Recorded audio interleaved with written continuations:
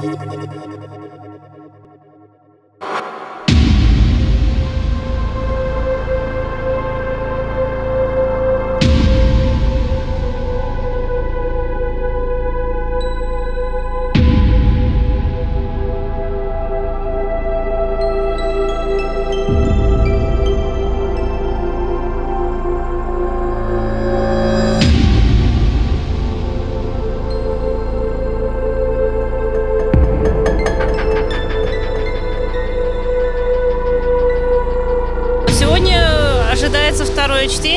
Поставили, собственно, на повестку дня в три часа. М, Мы пришли сюда, поскольку мы против э, законопроекта в том виде. устраивало в том проекте? Нас не, устра- Нас не устраивает, что институты отделяют от академии и передают видение какого-то непонятного органа. А, Ничего толком не прописано. Мы не знаем а, ни как мы будем работать, а, а, ни какие будут условия. А, Нам ничего не гарантируют, с нами ничего не согласовывают. Эта ситуация для нас неприемлема. Понятно. То есть э, реформы, которые проводятся, проводятся без вас. Абсолютно. Мы Очень быстро, молниеносно, можно сказать, проводится. Блицкригом его называют. Мы не участники, мы объекты. Понятно. Понятно. Вы какую-то э, организацию представляете? А, Мы представляем разные институты. Я институт философии. Тут институт нефтехимического синтеза. А я тоже из нефтехимического синтеза. Спасибо. Ваш прогноз какой на это событие?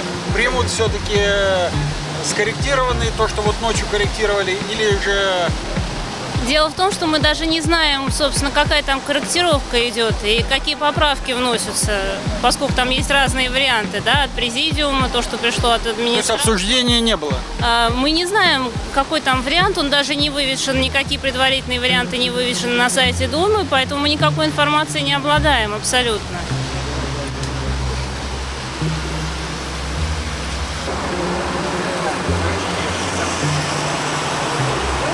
Здравствуйте. Скажите, что вас привело сюда? Почему вы сегодня здесь? возмущение правительством и тем, с каким нарушением закона принимается э, закон об уничтожении российской науки. Дело в том, что парламентарии – это законодательный орган. Они принимают проект закона о разрушении Российской Академии Наук, нарушая Конституцию, нарушая постановление правительства, нарушая указ президента. Они об этом прекрасно знают. И я считаю, что вот это очень печальный шаг в истории развития нашей демократии, когда игнорируется мнение ученых, десятки тысяч, десятки нобелевских лауреатов обратились к президенту, обратились к председателю парламента, никакого внимания. Сотни научных коллективов обратились к первым лицам страны. Все это игнорируется. Это, в общем, возмутительно.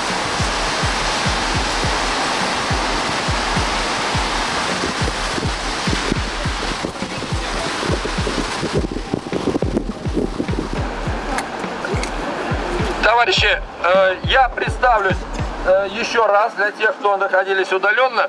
Э, Родин Владимир Романович, я депутат Государственной Думы, фракция КПРФ, член комитета по вопросам собственности.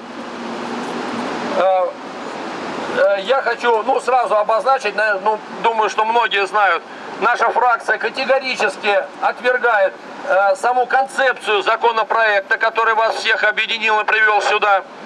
Э, И наша фракция э, при, первом же, при первой же попытке протащить этот законопроект, он был брошен внезапно. Ни один из э, депутатов не был допущен, что вообще небывалый случай э, для э, обсуждения этого законопроекта на заседании, э, правильно, коллегии министерства. Это небывалый случай. Любой депутат, особенно профильного комитета, имеет право принимать участие в обсуждении любого законопроекта в профильном министерстве э, на коллегии. И э, это сразу как бы нас насторожило. Э, и мы, всем стало понятно, что речь идет о протаскивании э, законопроекта, который э, не был обсужден общественностью, в том числе, естественно, заинтересованной общественностью, сотрудниками Академии наук. Э, И э, Вы, наверное, знаете также, что наша фракция в знак протеста встала и вышла из э, зала заседания Государственной Думы. Ну, многие нас упрекают, находятся и такие. Так надо было голосовать против, а то не... Товарищи, выход из зала – это крайний протест. Это как не приход на работу. На самом деле, вот вы протестуете, у вас все исчерпаны, вы все заявления написали, всем все объяснили у себя на работе, а, а вас все равно продолжают там преследовать за что-то, и вы в знак протеста, чтобы привлечь себе, вы уходите с работы. Вот я бы э, э, э, сравнил с этим. В дальнейшем, конечно, стало понятно, что просто э, уйти и ожидать невозможно. Мы провели ряд э, протестных акций, митингов, принимали участие в ваших мероприятиях протестных. Э, но на сегодня сложилась следующая ситуация, что э, все обещания, э, данные ну, высшими чиновниками, в том числе и государства, э, фактически рухнули. Я э, общался ну, по смежному вопросу с э, президентом Академии наук вот в истекшую пятницу. И э, он э, также отметил, что э, сложная ситуация складывается, что э, несмотря на какие-то надежды, что договоренности будут исполнены, что, э, что э, ряд и самое главное вопрос о, создании э, и роли агентства по ну как оно там, Росакадемсервис, там условно да? под условным названием, что а, главное, что, в общем-то, всех беспокоит, кому будет передано право распоряжаться а, имуществом, в том числе научным и, имуществом, непосредственно участвующим в, научных, э, э, в научной деятельности. Э, этот э, пункт остается без изменения. Я уже вчера рассказывал о том, что по завершению заседания Совета Думы, которое определило внесение в повестку дня вчерашнего заседания именно этого законопроекта, э, перевод его во второе чтение э, и дальнейшее движение этого законопроекта, э, представитель нашей фракции высказался, что надо бы вот этот пункт, как раз беспокоящий и вызывающий неудовлетворенность всей научной общественности, надо бы именно этот пункт изъять или как-то изменить в пользу настроений научной общественности. Было сказано следующее, что вы что, не понимаете, Э, ради этого пункта и затевается весь законопроект. Ну, понятно, что это сказал не председатель Государственной Думы, понятно, что э, это заявил кто-то из э, руководителей фракции, которая продвигает этот законопроект. Я, мне неизвестна фамилия, я в данном случае не могу их обнародовать, приветствую. И э, вот э, я хочу только подчеркнуть, что вот маски сорваны, и э, сорваны они в том числе поспешностью, с которой э, протаскивается этот законопроект. Э, я вчера вам рассказывал о том, что э, при переводе э, во второе чтение этого законопроекта было сразу же принято постановление, в котором обязывались все желающие представить свои предложения по изменению содержания законопроекта должны были до 18. Я приношу извинения, до, до 16 я сказал, на самом деле до 18. У меня этот есть документ, да, у меня есть этот документ на руках. Э, я его потом изучил, ведь я напоминаю, что я просто общался с вами э, и не был на заседании, в, тот, в том числе и в тот момент, когда рассматривался. В дальнейшем я все это изучил, вот сейчас подошел к нам еще один депутат, он подетальнее, ты присутствовал при рассмотрении вопроса? Ну вот он подетальнее ответит на ваши вопросы. Так вот, э, ну это нарушение всех, я уже говорил, регламентных норм, утвержденных законом. Правда, а, опять же, я вчера попытался эту тему разыграть, а мне говорят, товарищи, Э, в этом же законе, в регламенте, да, сказано, что месяц необходимо для внесения э, замечаний, но там есть, э, если иное не проголосовано на, за, на заседании Думы, то есть остается по закону даже остается возможность прям незамедлительно менять все нормы, которые в повседневной жизни. Было ли это проголосовано вчера? А вот, вот мы сейчас и спросим. Да. Было проголосовано. Ну, в общем, наша фракция достаточно опытных имеет депутатов. Это я уже вам говорил, я достаточно молодой по стажу депутат. Всего первый созыв. У нас есть депутаты, которые 5 и 6 созывов. И, конечно, они не упустят возможность зацепиться за любую норму закона, которую бы можно было. Поэтому все. Э, больше того, мы, э, большое количество наших депутатов, как мне известно, выступали, протестовали, приводили все доводы. Но я должен сказать, что в последнее время сложилось в Государственной Думе на протяжении практически всех полутора лет, что я вот являюсь депутатом, э, я вижу, как один за другим депутатом протаскивается просто большинством голосов агрессивного э, большинства в Думе, то есть единороссами. Когда нужно, еще к ним присоединяются, когда им необходимо, в частности для принятия конституционных законов, э, требуется 75%, к ним присоединяется и фракция э, «Справедливой России» ЛДПР. Как вам известно, часть э, «Справедливой России» депутатов как бы перестали подчиняться дисциплине фракционной, и сейчас они набирают на, для там 213 голосов, они набирают э, 213, нет, 300, а, 313, по-моему, да? 2 трети, сколько у нас? А 300 голосов они набирают 302, 303 для, даже для конституционных. Этот закон не является конституционным, он не меняет содержание нашей конституции, поэтому голосуется простым большинством. И это продавливается. Что вчера и было сделано. Э, теперь что сегодня, на сегодняшний день? Вот я держу в руках повестку дня. Здесь на 15.00 э, на 15.00 э, на фиксированное время назначено рассмотрение этого вопроса. Давайте посмотрим. Вот, номер 7 со звездочкой это фиксированное время. Э, и предполагается рассмотреть те э, предложения, которые были вчера обсуждены на заседании Комитета по науке и наукоемким технологиям. Ну вот сегодня средства массовой информации все сообщают, что э, заседание шло до, до поздней ночи. Я, к сожалению, не, не смог присутствовать, были свои как бы служебные дела. И Э, будут вынесены предложения, какие принять, какие от, э, отложить изменения к законопроекту. Э, а вот будет ли рассмотрено в третьем чтении или нет, товарищи, я вам не могу сказать, это объективно было бы неправильным, но условий для того, чтобы сдержать принятие в третьем чтении при таком агрессивном протаскивании этого законопроекта в принципе нет. Я э, передам э, сейчас микрофончик своему коллеге, тоже фракция КПРФ. Никичук Иван Иванович, первый заместитель председателя Комитета Государственной Думы по природным ресурсам, природопользованию и экологии. Слышно? Э, доктор технических наук. Работал ну, около 30 лет в Арзамасе-16, занимался э, испытанием ядерного оружия. Ну что можно сказать уважаемые коллеги, э, печально то, что происходит, конечно. Печально, грустно и противно. Потому что э, то, что делает сегодня с Академией наук, это преступление, на мой взгляд.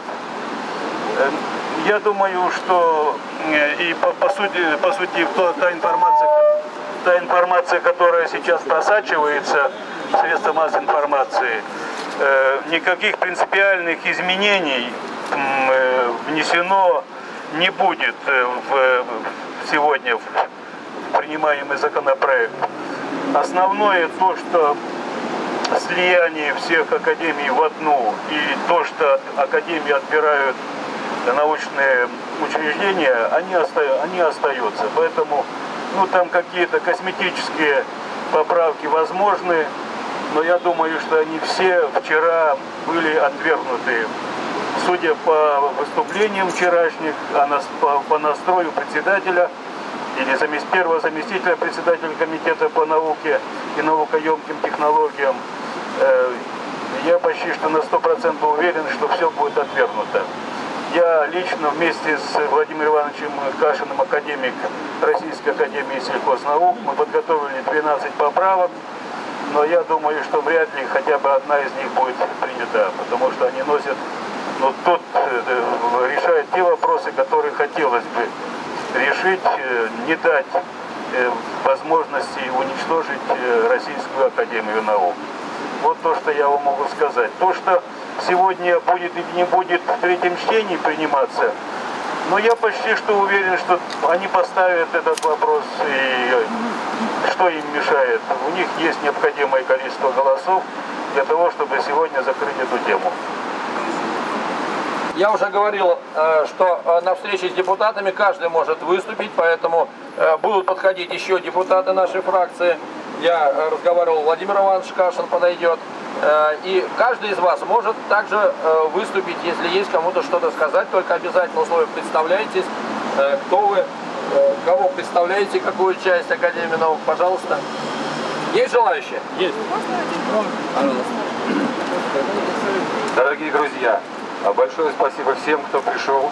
А, Вдовин Вячеслав Федорович, а, ваш покорный слуга, зампредседателя Совета профсоюза, а, вице-президент Всемирной Федерации научных работников, доктор физмат наук, а, ведущий научный сотрудник Института прикладной физики, также из э, Нижегородской области. Приехал специально сюда для того, чтобы обозначить мнение научного сообщества. Э, Сегодня э, здесь пришли представители в основном московских учреждений, но протест будет э, организован по всей России. Депутатов прошу обозначить мнение научного сообщества не только к тем фракциям, которые голосуют против законопроекта, но и те, которые голосуют за. Я сейчас встретил Вадима Булавинова, это депутат от Нижегородской области, от «Единой России», и выразил надежду, что он прислушается к мнению а, земляков. То же самое, я надеюсь, сделают все остальные. А, На сегодняшний день а, э, беззаконность этого законопроекта, извините за странное сочетание, очевидна. А, Ваш покорный слуга и еще группа людей обращались в прокуратуру. А, Буквально вчера пришел последний ответ а, из Генеральной прокуратуры. А, Сначала они затягивали время, потом просили отсрочки, и вот наконец вчера пришел ответ. Действительно, Генпрокуратура не смогла найти оснований отбросить наше заявление и сказать, что не было нарушений. Нарушения были. Что написала прокуратура? То, что проведя проверку в Минобрнауке, мы полагали, что это Минобрнауки виновата. Так вот, проведя проверку в Минобрнауке, они не выявили признаков подготовки законопроекта там. То есть Ливанов уж был не так и сильно неправ. То есть, может быть, зря мы его так э, виним в этом законопроекте. А, не его вина. Он готовился в другом месте, и в ответе Генпрокуратуры написано, что а, эти места нам не подсудны. Мы вправе проверять, что делают органы исполнительной власти, а вот дальше извините. Так что, уважаемые коллеги, давайте обращаться дальше. А, Если все произойдет так, как наши коллеги сейчас обозначили, а, все будет принято здесь, давайте обращаться в Совет Федерации, давайте обращаться к президенту. Э, Я думаю, что мнение, консолидированное мнение научного сообщества чего-то достоит. Кто, где же? А вот, а вот мне кажется, этот вопрос интересный. И если э, нам в руки будет передан ответ э, прокуратуры или копия его, то я готов сегодня положить его в основу вопроса на пленарном заседании. Кем готовилась э, э, и тогда на каком не основании... Что? Не написано. А не, не, вот, так Они пусть не ответит. Нет, если прокуратура говорит, что э, орган, представители которого подписали этот законопроект, не готовили его, то э, есть основания спросить на пленарном заседании, кто готовил. Да? Правильно. Это мы и зададим вопрос, если вот эта копия будет передана. У вас был вопрос какой-то? У меня вопрос на самом деле касающийся вот этих 119 тысяч подписей. 121. Да, уже теперь 121 подписи, 2 тысячи подписей. Михаила Лариса Григорьевна, старший научный сотрудник МГУ имени Ломоносова, факультет журналистики. А, э, Вот про- прошло обсуждение, люди собрали. А, Это, собственно говоря, и есть доказательство а, отрицания очень большой части научной э, общественности этого закона. В данном случае должен быть тоже конкретный ответ. Именно на заседании общин Думы. Э, Каким образом они отрицают, почему, на каком основании они отрицают это вы- выраженное мнение. Пожалуйста, спросите об этом. Ну, вы видите, развернута кампания была по дискредитации э, способов э, и управления самого объектами недвижимости, находящимися в оперативном управлении Академии наук. Мы с экранов телевидения последние несколько дней видим э, попытки дискредитации. На это, я думаю, что есть один ответ. Надо наказать нерадивых управленцев, но нельзя с э, водой выплескивать ребенка из ванны. Нельзя ак- э, академическую науку лишать ее базы для научных исследований только потому, что кто-то, кто-то при распределении квартир принял неправильное решение. Тем более мы знаем, как э, и у нас распределяются квартиры и в обычной сфере э, нашей э, ненаучной. Поэтому э, нет никаких оснований менять принципы управления и развития нашей науки. Пожалуйста, есть ли желающие еще выступить, высказать свое мнение? Вопрос можно задать? Пожалуйста. Полищук Ростислав, физический институт имени Лебедева, доктор наук. Мой вопрос. А, сколько миллиардов рублей оценивается недвижимость Российской Академии Наук. То есть цена вопроса. Я думаю, что это порядка триллионов долларов. А хотелось бы знать точнее, потому что это и есть существенный критерий, который стоит вот э, э, как предмет нашей борьбы. Э, подождите, я, э, наверное, неправильно вас понял. Вы же не боретесь за миллиарды долларов? Вы-то не боретесь за миллиарды, вы боретесь за науку, я так надеюсь. Сколько, за, за что борется? Что у нас хотят отнять? Значит, э, в средствах массовой информации я эту цифру читал, боюсь ошибиться, не хочу вводить вас в заблуждение, но она, по крайней мере, открыта. Но такой цифры, в принципе, нет. Есть одна цифра, в которой можно сделать отчет. Это стоимость земли Академии сельхознаук в Подмосков... Подмосковье. Это полтора триллиона рублей. Можете, так сказать, э, интерполировать, сколько стоит вся стоимость э, Российской Академии Наук и остальных академий. Конечно, это триллионы, если не долларов, то рублей уж точно, десятки триллионов. Э, Перцов Николай Викторович, ведущий научный сотрудник Института русского языка имени Виноградова, Российской Академии Наук. Сейчас шла речь об имуществе. Но ведь дело не только в имуществе. Ведь, э, э, ведь э, э, в выдвинутом законопроекте говорится о том, что будущее агентство будет определять самой наукой. И вот это гораздо страшнее. То есть э, менеджеры, не знающие сути дела, будут решать, какому направлению науки отдавать предпочтение, а какое направление считать менее перспективным. Вот это гораздо более страшно. Это э, существенно в особенности для наук естественного цикла, но также и для гуманитарных наук. Значит, чиновник будет решать, что, скажем, текстология это побочное явление. Это не нужно. А вот э, определение э, языка рекламы, это перспективно, это нужно. И будет спускать э, директивы о том, чтобы филологи занимались, скажем, языком рекламы гораздо в большей степени и гораздо более внимательно, чем изучали классиков. Вы понимаете? Это же страшно будет, если менеджер будет решать такие вопросы. Вот что, э, вот что меня удручает больше всего, если иметь в виду мою сферу, сферу гуманитарную. Небольшой комментарий на эту тему. Знаете, я даже э, вот лично в своем выступлении, на одном из, в одном из выступлений на пленарном заседании, я сконцентрировал внимание на том, что э, делается нашими эффективными менеджерами во всех отраслях, а не только в отрасли науки э, или там э, реальной экономики, мы видели с вами только что у нас на глазах практически э, произошла странная реформа в сфере высшего образования. Когда вузы, ну вот в частности мы приводим, там 70% педагогических вузов были признаны э, неэффективными и фактически были... Нет, ну, я, много, я привожу конкретный вот пример. Мы понимаем, значит, педагоги, элита общества, формирующее сознание нашего новых поколений, Кому может быть выгодно сокращение, ликвидация? Э, э, люди и так сегодня получают невысокие зарплаты, э, авторитет профессии снижен, и кому-то все равно надо добить. Какие? Педагогику, да?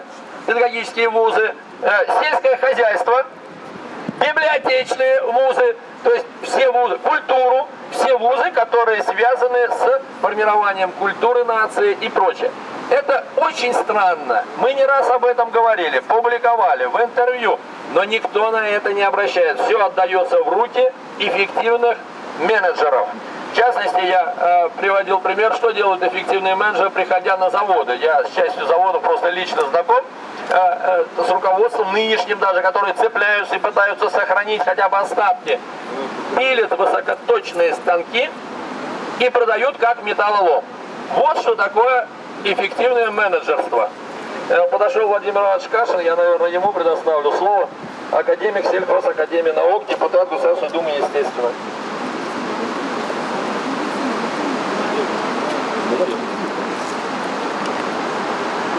Уважаемые товарищи, мы хотим поблагодарить вас, неравнодушных людей, кто сегодня пришел сюда, к стенам Государственной Думы, чтобы выразить свое отношение тому безобразию, которое сегодня власть осуществляет в отношении нашей науки и Академии РАН, и отраслевых академий. Дело в том, что мы с вами хорошо знаем, что за эти 20 лет что уничтожено промышленное, сельскохозяйственное производство. И, как мы говорим, страна лишилась всего и вся. Осталась, может быть, единственная надежда на науку, на наши технологии, на наших ученых, которые могут в самых сложнейших условиях, как показывает история, решать неподъемные проблемы. И, конечно, наверное, из-за бугра там подталкивают здесь тех либералов, тех реформаторов, которые должны лишить страну и головы. Вы посмотрите, что получается. Вот сегодня под нож пускается, допустим, сельскохозяйственная наша академия или медицинская академия. Что земли не хватает? Говорят, что в сельхозакадемии много земли, аж 3 миллиона с половиной гектар осталось. Много, правда, и ушло уже, но ушло не без помощи этой власти. Но ведь в стране-то 40 миллионов гектар заросло бурьяном. Это далеко не 3 миллиона. Вы посмотрите туда уж, если вам нужна земля, где она сегодня покрыта бурьяном и всевозможным чертополохом и является порохом для тех пожаров, которые уничтожают наши леса и другие богатства деревни вместе с населением. Вы посмотрите, не только ведь земля гуляет, а куда не приедешь, везде сегодня останки промышленного производства. Вы загляните сюда, и здесь, той же Москве, прихватываете огромные территории с Подмосковья, но на любой завод, некогда великий, зайдите, там по 20-30 гектар сегодня пастурей, паст, э, расположено. Вы посмотрите на эти, пожалуйста, земли. Используйте их здесь и транспортные подъезды и так далее, и так далее. Нет, надо еще, еще раз, я хочу сказать, именно уничтожить науку, мысль творческую. А почему? Потому что сегодня 16 триллионов только идет за рубеж э, нефти и газа. На 16 триллионов э, формируется бюджет из этой суммы максимум на 6,5 триллионов. Вы посмотрите, как мы вскармливаем этих миллиардеров на народном богатстве, превращая все кругом в убытки. И вдруг нашли виновного. Академия. Оказывается, здесь плохо у нашей медицинской академии используется оборудование института. Да вы уничтожили ведь все, что давало возможность создавать, допустим, лекарственную систему. Она у нас была отработана. От субстанции до основных лекарств производили наши, разрабатывали, производили наши ученые, наши великие хирурги, академики. Посмотрите, что условно Давыдов Михаил Иванович может. Я уже не говорю о там, Пчурин, другие наши товарищи, академики. Так что ж теперь? Мы им не доверяем. Сегодня нашли топор под лавкой. Стали нам рассказывать, какой плохой месяц, какой плохой Алферов и многие другие. Совесть поимели эти продажные, в том числе и журналисты. Мы знаем этих людей, знаем давно, знаем их неравнодушность, непримиримость, талант. Он проверен многими годами. Ничего другого не решается сегодня для улучшения ни управления Академией, ни решениями тех проблем, которые сегодня стоят действительно перед наукой. Мы хорошо понимаем, что проблемы надо решать. Но вот за данным законопроектом, за данным решением ничего не кроется, кроме корыстных целей. Отбирают у ученого лаборатории институт. Я 25 лет отработал от старшего научного сотрудника, руководителя группы, заведующего отдела, директором всесоюзной станции. 14 лет возглавлял Всероссийский институт селекционно-технологический. Не понаслышке знаю, что ученый без лаборатории института не ученый. И клуб, который сегодня пытаются создать, оторвав институты и лаборатории в какое-то агентство, которое будет решать проблемы, знаем какие. Вот здесь правильно говорят об эффективности, об эффективности набивания карманов и ничего другого. Государство убежден, не получит ни от этих земель, ни от этих э, основных фондов ни рубля в бюджеты. Но мы лишим главного. Сегодня 70% основные институты получают денег в своем общем бюджете за счет тех как раз э, средств, которыми э, располагает институт. Это и э, здания, сооружения, это и земля и так далее, и так далее. А что ж тогда? Кандидат наук, доцент будет получать эти 3-5 тысяч, доктор наук эти 8 тысяч, аспиранты нам снова нечем будет платить ни за коммунальное хозяйство, а им, им этого и надо. Уважаемые товарищи, еще раз хочу сказать, спасибо вам. Что касается нашей фракции коммунистов, мы, когда внесли этот закон, все делали для того, чтобы он не прошел в Государственной Думе и покинули э, Думе и покинули, как говорится, последнее заседание. И сегодня проводим борьбу там, где э, возможно ее проводить. Мы провели две всероссийских акции. Мы, э, начиная в Государственной Думе, на всех советах Думы свою точку зрения выражаем. Но власть сегодня похожая как говорится, не прислушивается ни к всероссийским акциям, ни к мнению ученым. Мы благодарим ученых. 120 тысяч они подписали э, соответствующее обращение по поводу этого закона. Наверное, нас еще мало. Наверное, наше мнение могут услышать, когда нас будет еще больше. И, видимо, может быть, многие желают сегодня, в конце концов, той ситуации, когда будет более жарко. В целом, еще еще раз хочу сказать, не все потеряно. Мы вместе должны решать все наши проблемы, которые есть у науки. Надо держать наши институты и лаборатории и все делать для того, чтобы решить действительно положительно то, о чем мы с вами говорим. За нашу борьбу и за нашу победу. Спасибо вам еще раз. Товарищи, э, я хотел бы следующее предложить вам. Э, сегодня рассмотрение этого вопроса внесено в повестку дня в 15.00, фиксированное время. В 4, по всей вероятности, закончится рассмотрение этого вопроса. Э, в 17.00 по традиции начинается голосование. Если вы считаете для себя возможным, ну я просто вижу, вы регулярные, уже некоторые лица, я вчера видел много лиц, значит, знакомы стали. Э, поэтому к 16.00 вы можете подойти. Мы это оформим заявкой официально с тем, чтобы не было к нам претензий о проведении встречи с депутатами. Уже, ну как бы по итогам рассмотрения мы вас проинформируем.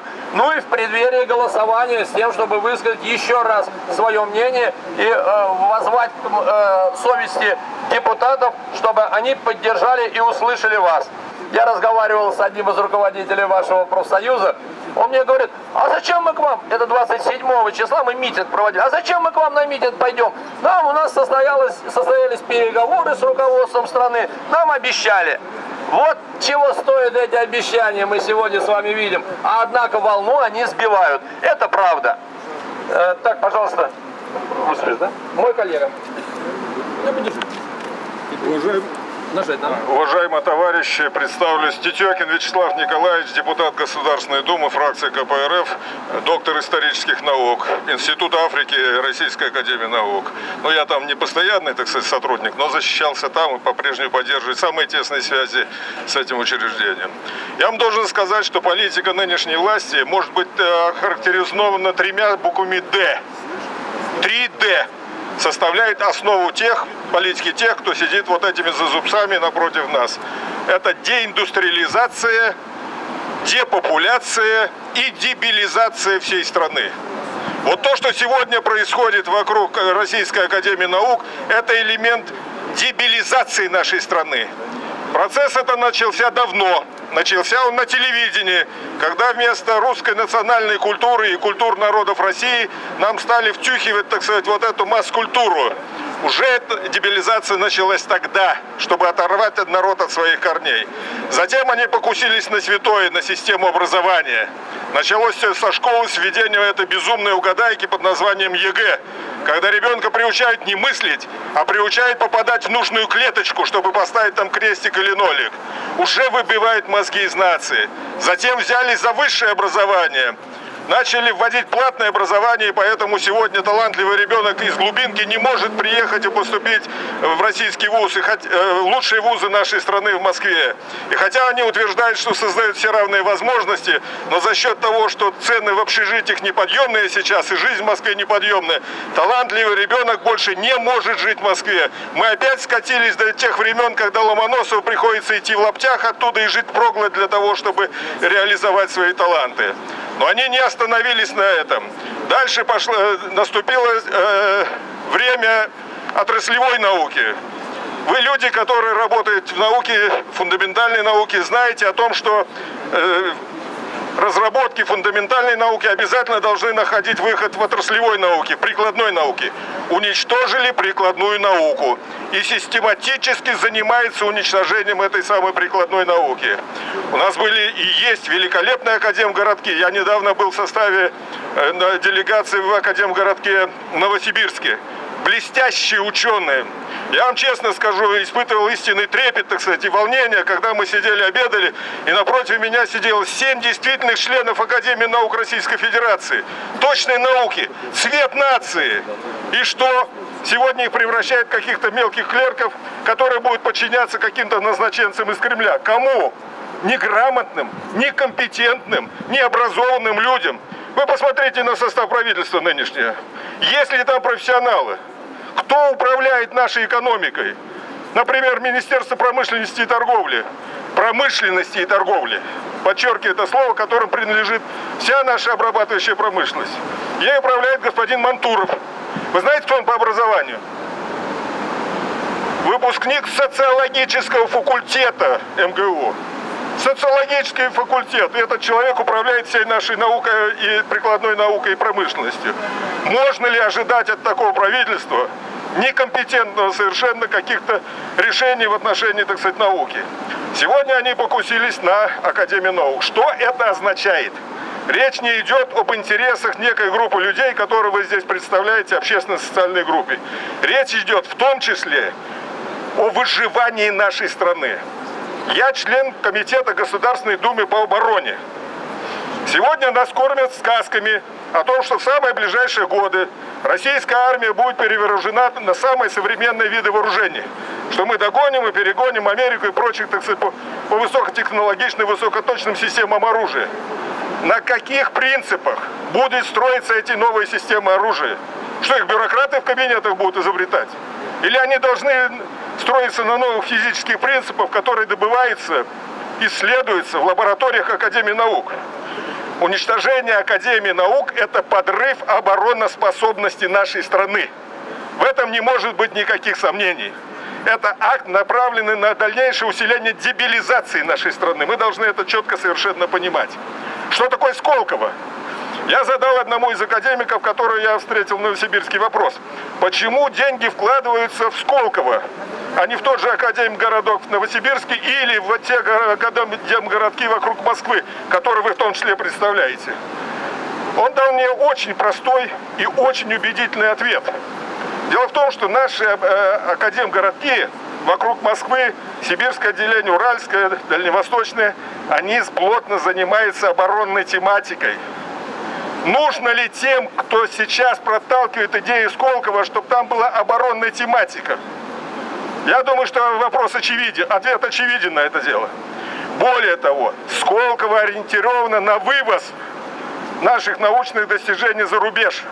Не на то, чтобы развивать нашу национальную экономику, не на то, чтобы повышать на уровень жизни интеллектуализацию нашей страны, они намерены завозить иностранных ученых сюда, эксплуатировать наших ученых и вывозить полученные результаты за рубеж. И еще гордятся этим. Но это полное безумие. Это настолько противоречит национальным интересам нашей страны, что дальше ехать некуда. То, что мы видим сегодня, это, конечно, вакханалия разрушения. Это вакханалия лицемерия. Потому что, с одной стороны, с высоких трибун нам говорят об инновационных, о модернизации. С другой стороны, подрывается основа модернизации. И вы, ученые, люди, которые сейчас должны сидеть за столами в лаборатории, за компьютерами, проводить опыты, эксперименты, проводить расчеты, вычисления, вместо того, чтобы заниматься, это стоите здесь на улице в тщетной попытке достучаться до власти имущих. Но должен вам сказать, что ваши усилия, ваше пребывание здесь не бесполезно. Дело в том, что сейчас вот в 10 часов начинается заседание Государственной Думы. Все депутаты, за исключением тех, которые проходили через 10 подъезд, прошли здесь через второй подъезд, и они вас видели. Они вас видели, они вас слышали. Я думаю, что добрые, доблестные правоохранительные так называемые органы, которые здесь в этой толпе явно присутствуют, тоже докладывают о том, что здесь происходит встреча депутатов с, избирателями, со, э, с учеными, которые протестуют против э, вакханалии, творящейся в отношении Академии наук. Ваш голос, ваше присутствие замечено и услышано. Поэтому вы все правильно делаете. Вот они, кремлевские зубцы напротив. Я думаю, оттуда любопытные глаза уже смотрят в вашу сторону. И власть не может не понимать о том, что сейчас она сталкивается не просто с какими-то люмпинами, так сказать, спившимся, которых она же споила в сельских деревнях. Она сталкивается с цветом нации. Она сталкивается с интеллектуальной основой нации. И у них чешутся, так сказать, они чешут затылки, что же им делать дальше. Конечно, они могут сегодня протащить во втором и третьем чтении то, что они хотят.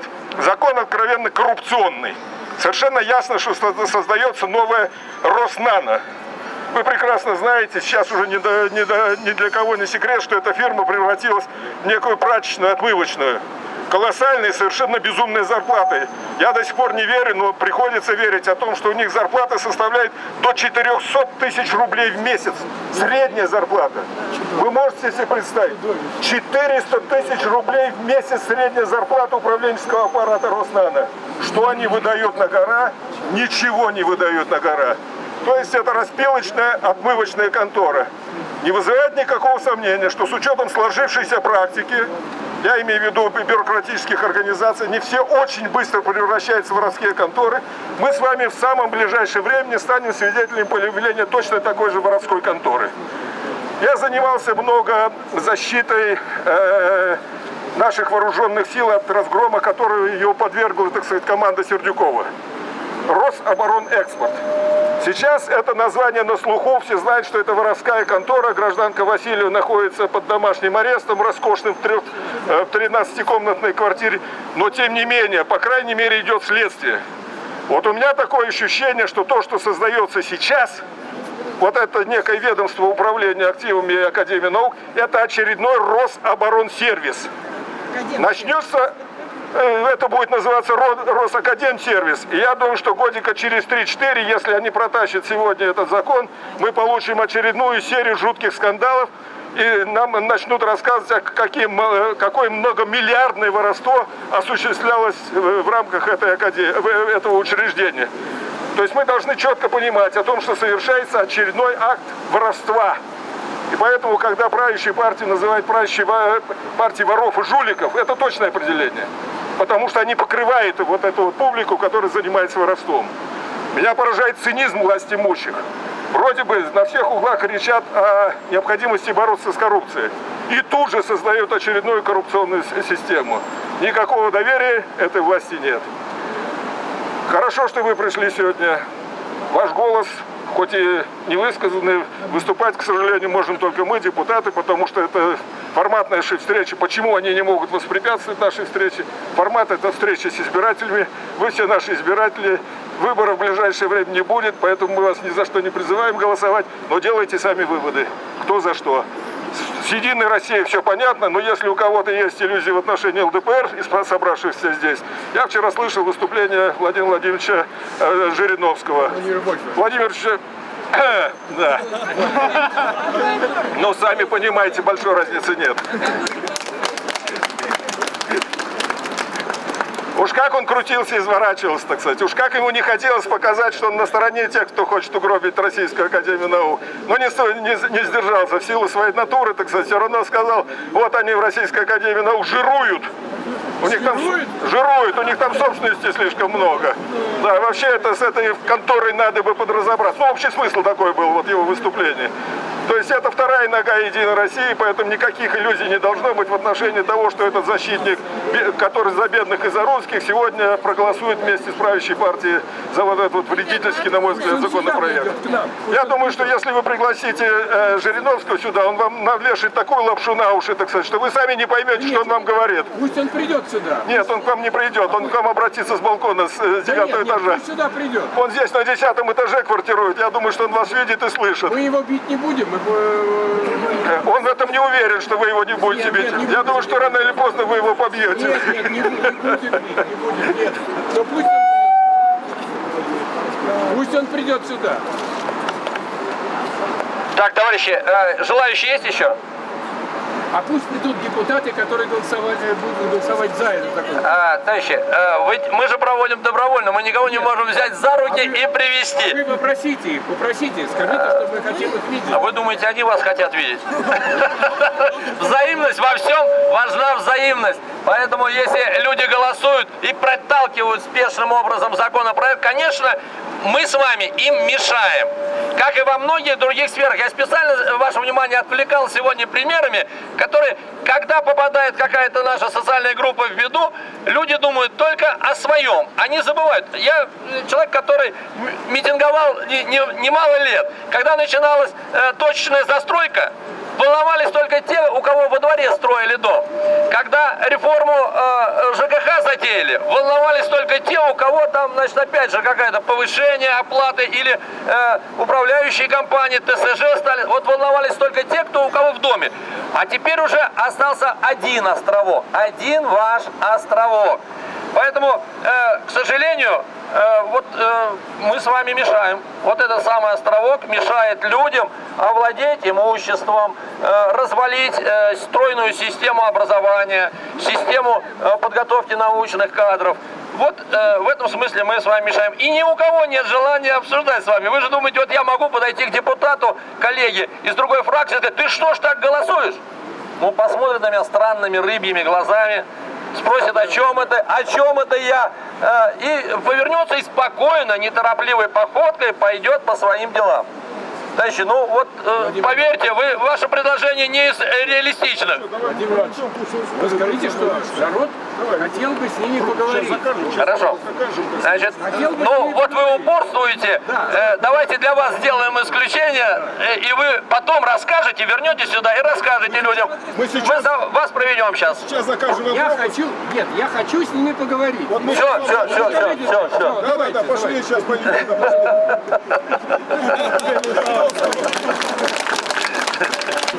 Дорогие друзья, дорогие друзья, по несчастью, значит, я доктор геолого-минералогических наук, Институт геологии, рудных месторождений, минералогии, петрографии и геохимии.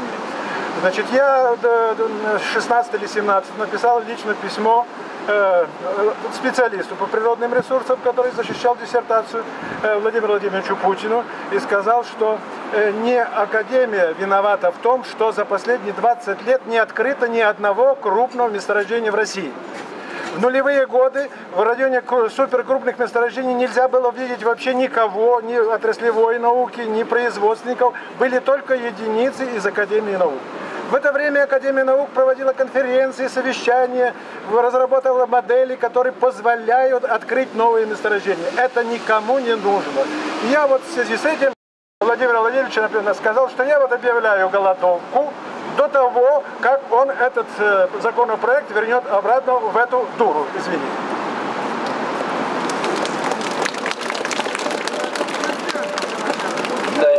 Я э, всегда очень беспокойно отношусь к таким заявлениям. С одной стороны, понимаю боль э, душевную и э, головную, можно сказать, но э, голодовкам я никогда никого не призываю. Это наносит решительный вред э, организму.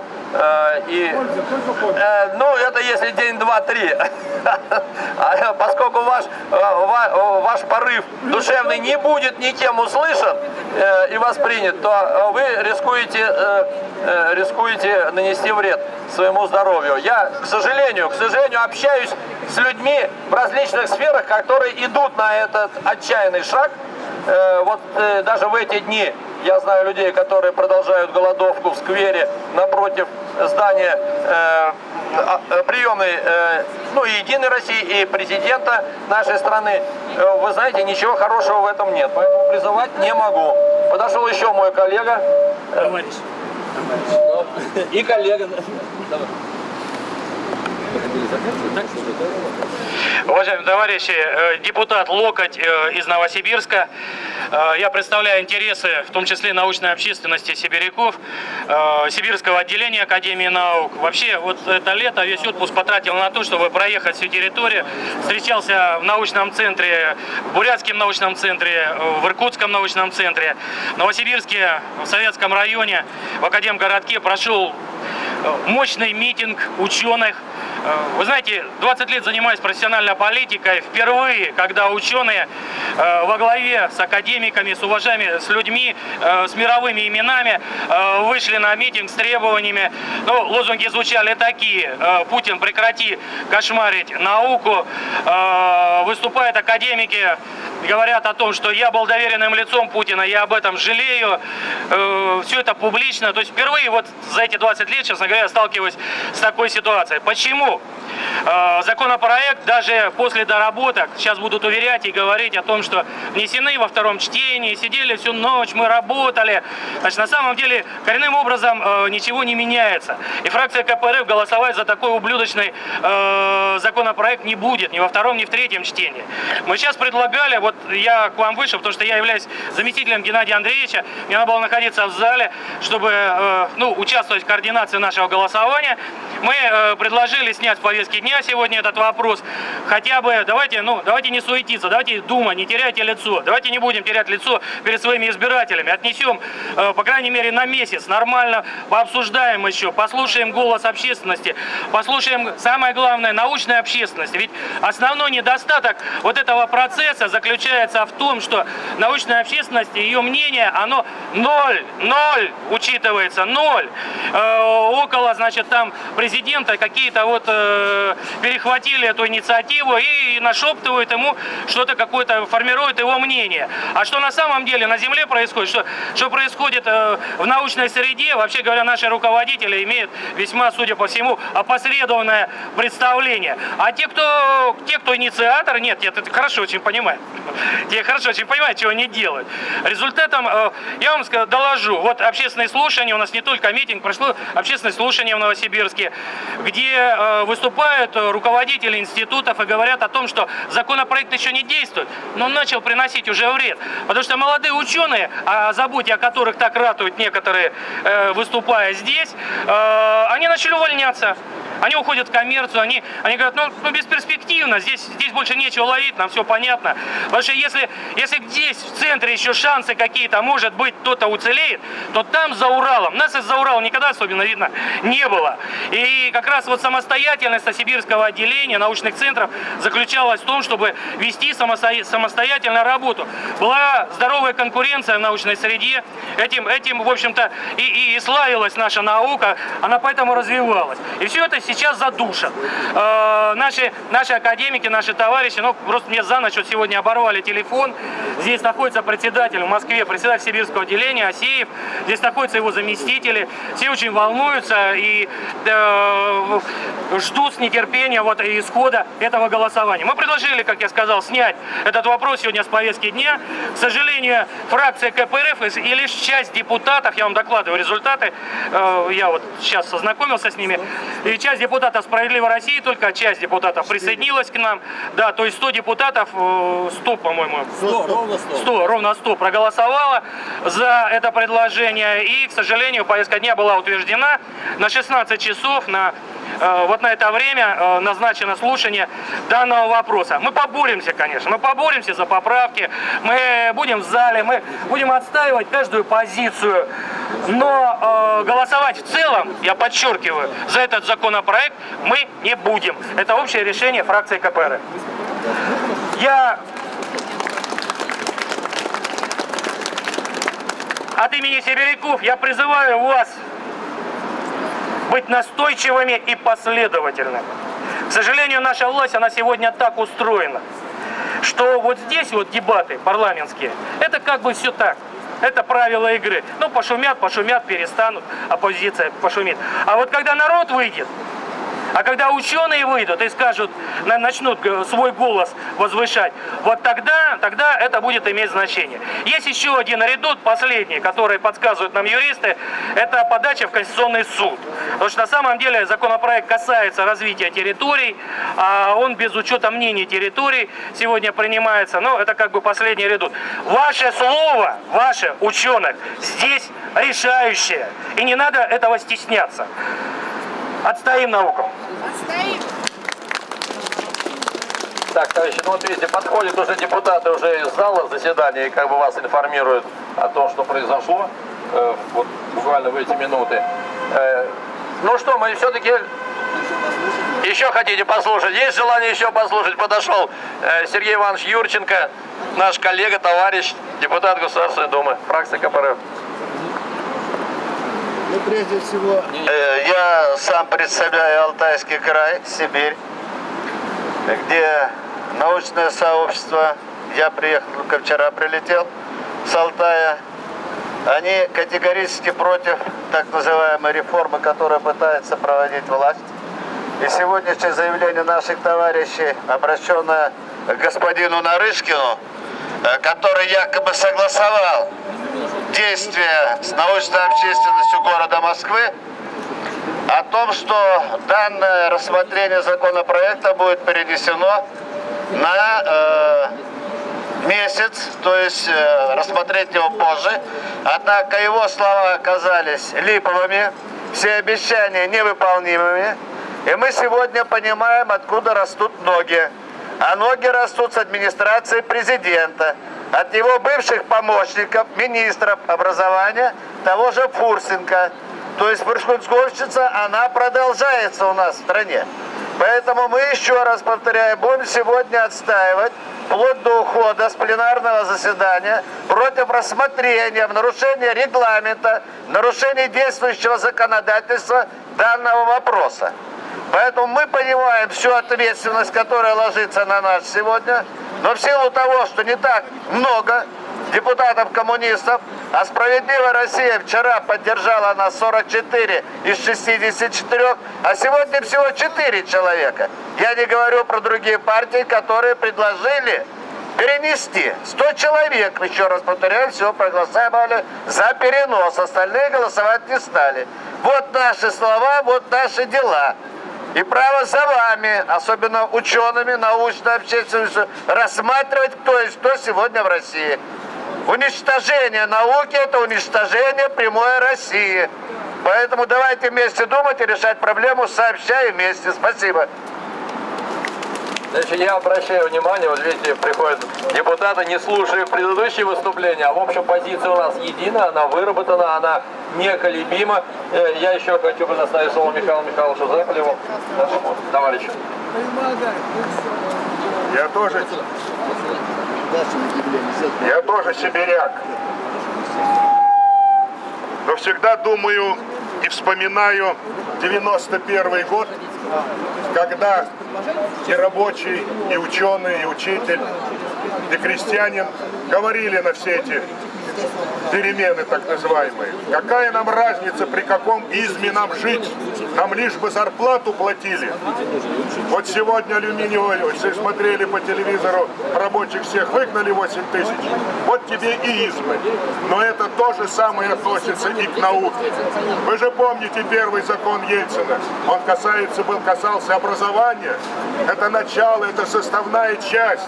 Это исток науки нужно уничтожить. Вот вся цель. И придумываются всевозможные ходы. То гражданские браки, чтобы семью разрушить, то лейтенанты, капитаны становятся генералами, чтобы в армии не было порядка. И вот уничтожить науку, как уже итог всей этой деятельности. Один вам совет, подумайте над словосочетанием. Какие законы, такая и жизнь, кого избираем, так и живем. Другого не дано. Так, спасибо. Товарищи, ну договорились, да? Все, спасибо вам. Желающих мы ждем в 4 часа здесь. Всего наилучшего.